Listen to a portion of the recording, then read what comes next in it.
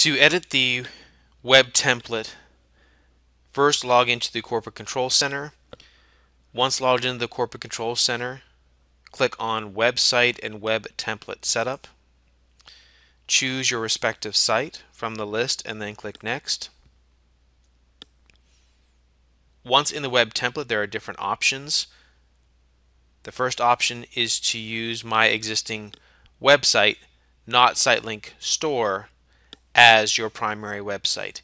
If you choose this first option, you will be provided with links or URLs at the bottom of the screen for your web developer to put information, specifically being able to take payments and reservations and displaying your unit sizes on your existing website.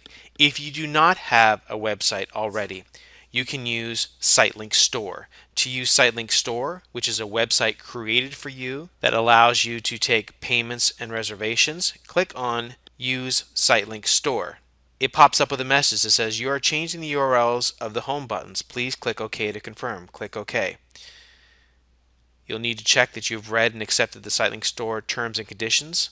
You can read the terms and conditions by clicking on the following terms and conditions link. Once you've chosen Use SiteLink Store as my company's primary website, you will see a URL that's listed here. This is your URL, but it is set to be from sitelinkstore.com. You can certainly send this link in your notices, in any form of communication to allow customers again to take payments or reservations.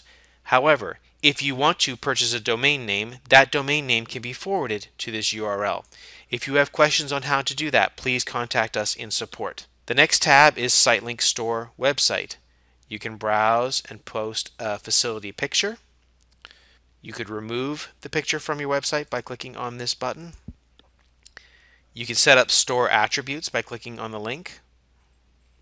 The store attributes appear on your website. Once you've edited or changed any unit attribute, click OK to make those changes.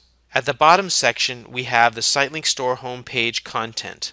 Type in any verbiage that you would like to be seen or shown on your SiteLink Store website. The next tab is Web Template E-commerce Gateway. By choosing this Web Template E-commerce Gateway, we have multiple options and choices. Number one, we have the Appearance tab. You have choices such as removing the Home button, removing the Storage Tips and Tools button. The Storage Tips and Tools will show prospects what a typical size would store. Remove the Contact Us button, show the Reservation button to allow online reservations, remove the web page header, and hide the company address information on the reservation page. These are all choices. There's no right or wrong. It just depends on what you want to be displayed with your web template. You can change different colors for your website background color, text color, links, background color, and table header. Choose the pick a color option and you get a template and you can choose what that color is and click OK. Logos and files, you can browse to a company logo, browse to a mobile logo, remove either one, and then browse to a terms and conditions policy if you have one. For the contact tab, what is your home button URL? If you're using the SiteLink store, that will be displayed here. If you're using the website, you can change this particular URL put in an email address and or call center email address. Either one of these is not required, but the home button link URL is. For messages, you can have a business vision, a unit overlock message, login screen text, and terms and conditions. There's an option to prompt tenants to read and accept these terms and conditions prior to submitting online payments. For a credit card, you can disable online payments. If this is unchecked, it is enabled. You can choose your credit card processor. The credit card processor will be determined based on your settings on the site level. For ACH, you can disable ACH online payments. If you uncheck this, it's enabled. The ACH process will be based on your settings on your site level. For rules, you have options, for example, allow tenants to edit their contact information. If a tenant does change their contact information online, you will see that in their notes screen in the SiteLink Web Edition. It will show their previous address and their new address. Allow tenants to update their credit card information. You can have web payment notifications either from email only, bulletin only, or email and bulletin. You can have web account registration notifications, again from email only, bulletin only, or email and bulletin. You have a choice of whether or not you allow partial payments or if you require full payments. Options for credit card payments being disabled. For example, in this case, if someone is 30 days past due, they can no longer make a credit card payment online. They would have to come to the facility to make the payment. Same thing for ACH. If they're X amount of days past due, in this case 24, they would not be able to make a payment online. Show this number of months of most recent payments. In this example, it's 12.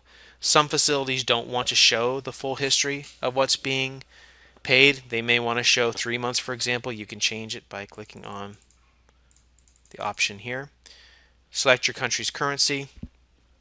For reservations, similar to the payments, you can have your web reservation notifications and your web appointment notifications sent to you as email only, bulletin only, or email and bulletin. Require payment of a reservation fee when taking online reservations. Show unit push rate on the reservation unit selection table. Display only unit types currently available on the reservation page. And show the availability of unit types as yes if they are currently not reserved and not rented. These are all choices. None of these are set in stone. You can certainly check or uncheck depending on what you want to have available. And lastly, we have number of days reservations are honored.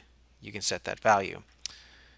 The final tab is layout. Normally you would use the default CSS, the code that determines the format of the web template. If you are an expert, you could use the custom CSS by selecting this value. Click Save to make any changes. Once all of your defaults have been chosen, you can come to the bottom where it says URLs and other required information for your web developer.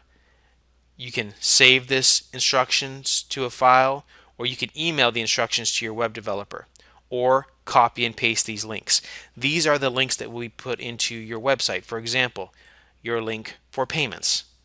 If we click on this link right now, it's going to take us to what it would show on your respective website. Your website is going to have the pictures that you want, the layout that you want, but you might have a button that says pay online here.